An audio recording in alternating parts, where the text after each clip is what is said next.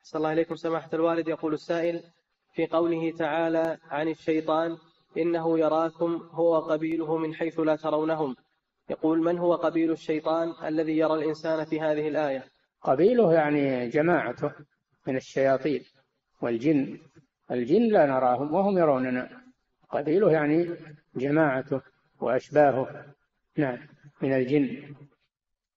نعم.